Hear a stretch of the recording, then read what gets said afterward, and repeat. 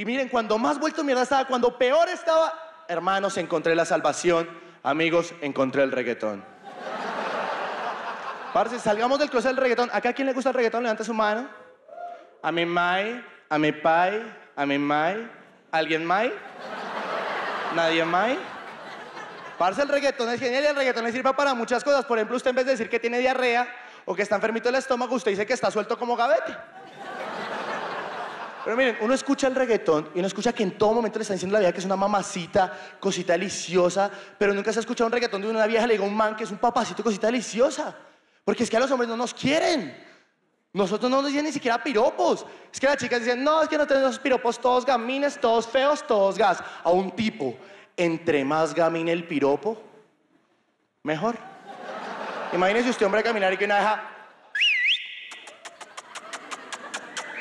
Yo le digo, papi, bebé quisiera ser mariachi. ¿Qué? ¿Cómo así? ¿Para qué? Para tocarte esa trompeta, bebé.